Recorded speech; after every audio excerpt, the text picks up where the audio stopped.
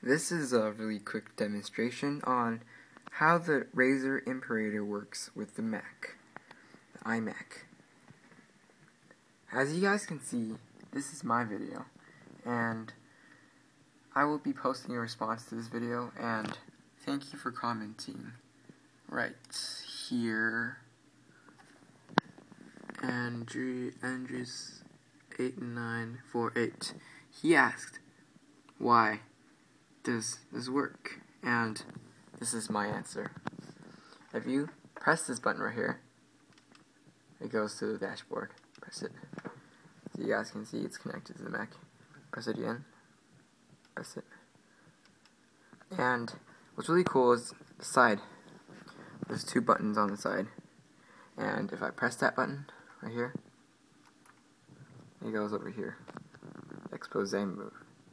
And if I press it again, like that. You guys can hear it. And over here. Yeah, so that's really cool.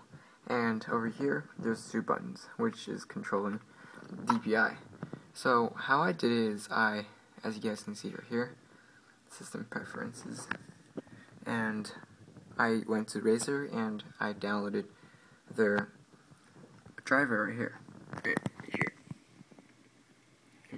And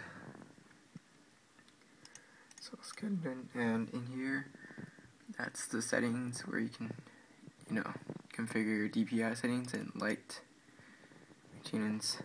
Right here scroll and the Razer logo. If I turn it off, click, click,